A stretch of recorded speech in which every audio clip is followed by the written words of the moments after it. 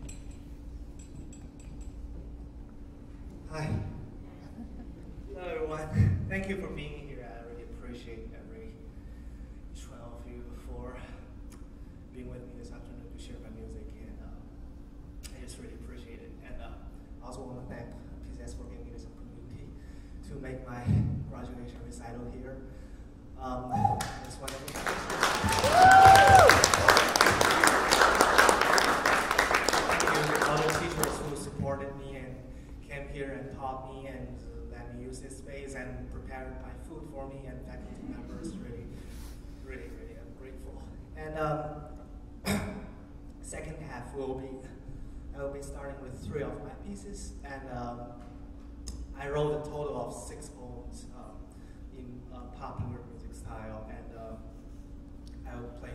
I'll be playing one, three, and five for you, and after that, I'll be playing uh, with my good friend Irfan uh, Ravel's the Valse for four hands. And um, in terms of these compositions, I really want to thank Irfan who always encouraged me and supported me uh, composing and uh, enjoy.